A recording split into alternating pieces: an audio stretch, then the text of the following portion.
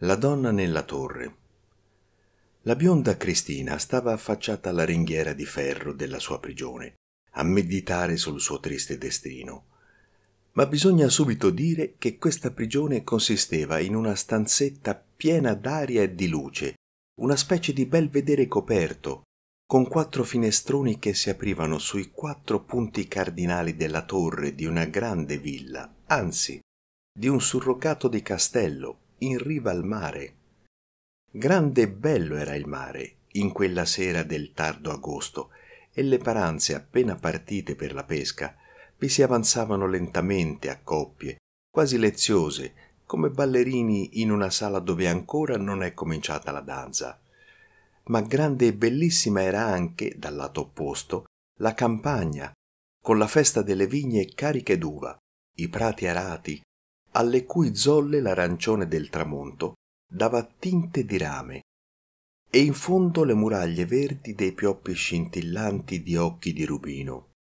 Nell'orto sotto la villa, in un campo di lattughe tenere, i susini rossi coi rami completamente filigranati di frutti davano l'idea di alberi di corallo in un fondo marino. Tutto questo non impediva alla bella Cristina di credersi la donna più infelice del mondo, chiusa nella torre per espiare un delitto non commesso o dal marito geloso. E chiusa vi era dal marito, ma perché ella non se ne andasse in giro, lasciando aperta la villa della quale erano custodi. Il marito, che oltre al custodire la villa faceva l'ortolano, era andato in città per un suo affare imponendo alla moglie di vigilare dall'alto della torretta sull'orto e l'entrata della casa e per essere più sicuro l'aveva chiusa a chiave consegnando poi questa a Panfilio, il vecchio contadino che coltivava l'orto vicino al suo. Ella lo sapeva e aveva voglia di urlare, di spaventare i vicini, di richiamare gente. Figlio di un boia, figlio di un cane, malandrino e somaro, erano i titoli più educati fra quelli che in quel momento ella dava al marito e gli augurava la mala morte, o perlomeno di rompersi uno stinco, o che arrivassero davvero i ladri e saccheggiassero l'orto e la villa. Lei avrebbe finto di svenire, per stare zitta. Nulla però di tutto questo succedeva. Sulla spiaggia pulita e argentea come un vassoio passavano le belle bagnanti, coi vestiti di fiordaliso, ai cui lembi le ondine spumanti pareva tentassero un assalto fraterno. Dall'altra parte i ragazzi dei contadini si divertivano a farragliare il giovane asino in amore di Panfilio. Tutti ridevano e si agitavano. Lei sola era prigioniera di quel serpente, figlio di un boia impiccato da un altro boia. E propositi di vendetta la consolavano. Alla prima occasione, come del resto spesso faceva, sarebbe scesa a godersi un bagno col suo costume rosso comprato di nascosto del marito. Costume a maglia che richiamava l'ammirazione ingorda dei vecchi pescatori della spiaggia e sempre offrendosi l'occasione sarebbe anche andata in patino con qualche giovinetto rematore, spingendosi in alto mare e dicendo le solite sciocchezze, non del tutto innocenti, che abbondavano sulle sue labbra tinte con la carta rossa. Parole diceva suo marito, che sembravano albicocche ed erano patate, e avrebbe lasciato aperta la villa, per dare una lezione a lui, che la trattava come un cane, perché figlio di un cane era lui. D'un tratto sbadigliò e accorgendosi che aveva fame sentì la sua rabbia aumentare. Era l'ora di cena, poiché, come di solito i contadini, lei e il marito andavano a letto presto, e a questo ricordo ella provò un improvviso sgomento egli non aveva mai tardato tanto a rincasare. Qualche incidente gli doveva essere accaduto. Le imprecazioni ch'ella gli invocava le caddero ai piedi come cambiate in pietre roventi. Poi caddero anche gli improperi. E dal subbuglio nebbioso dei suoi cattivi pensieri la figura del marito emerse vittoriosa ritornando a essere quella di giollo il giovinottone forte e rosso come un toro. Un toro che sotto il petto velloso nascondeva un cuore d'agnello. Ed ecco che ella si scolorì tutta, anche nelle mani, come si scoloriva il cielo sopra il mare. E sentì freddo e sentì paura.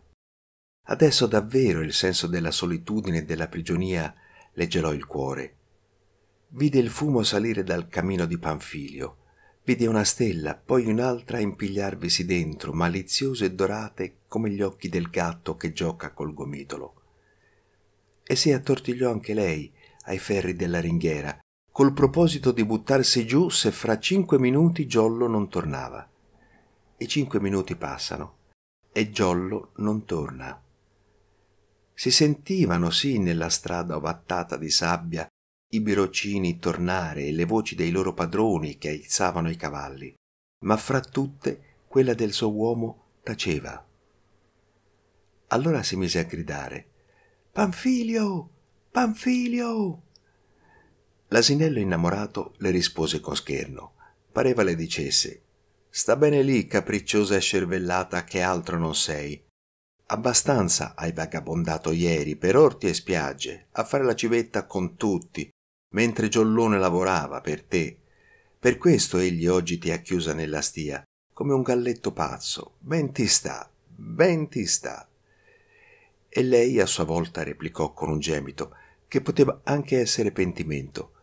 Poi, in quel nuovo muoversi del suo cuore, ella si rivedeva servetta, anzi sguattera, nella cucina dei signori che in quel tempo venivano ancora a villeggiare nel castello, e ricordava come Giollo, anche lui al loro servizio, l'avesse pescata dal lavandino, ripulendola come lei ripuliva i bei piatti di porcellana bionda. Ma lei, a poco a poco, si era dimenticata di tutto. Si era mascherata e ubriacata come a carnevale, rendendo infelice il suo benefattore.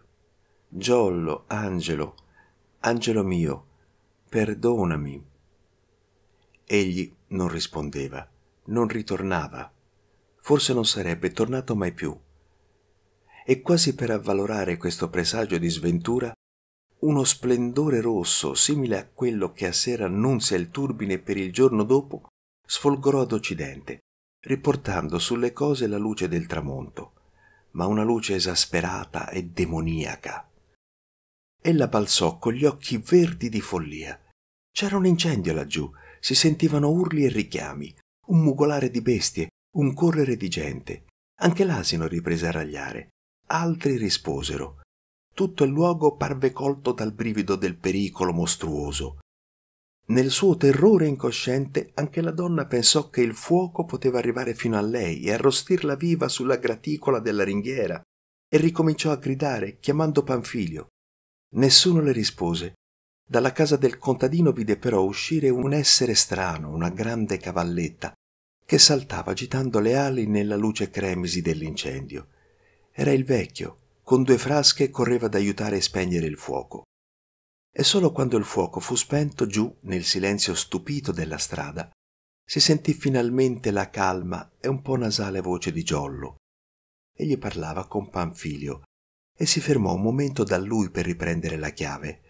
Solo allora Cristina si rinfrancò ed ebbe un moto felino di rivolta e attese in armi il marito ritardatario. Ma egli non aveva fretta. Rimise a posto le sue cose, poi salì con un passo pesante, davvero carceriere. Ho fatto tardi, disse cercando di scusarsi, perché mi sono fermato ad aiutare a spegnere l'incendio giù dai pagnini. Quelle sono disgrazie, aggiunse, ma come per conto suo. Tutto, tutto hanno perduto i pagnini, il grano, la paglia, il fieno. Una vacca s'è ostionata, un bambino pure, e questo forse se ne va all'altro mondo. La vecchia sembra impazzita, L'abbiamo tenuta a forza perché voleva buttarsi nel pozzo. Uè, quelle sono davvero disgrazie, cara la mia gente.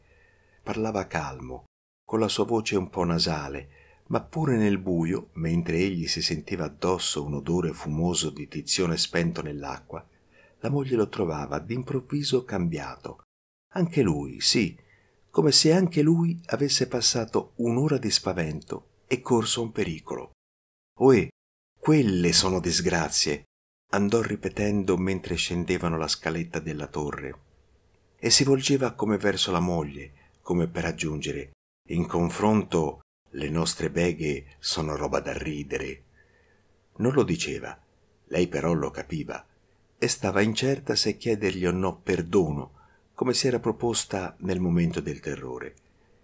Il ricordo del brutto momento la decise per il no. Così un'altra volta, se al buon giollo tornava il ticchio di volerla chiudere in casa per farglielo passare, ella gli avrebbe ricordato la disgrazia dei pagnini.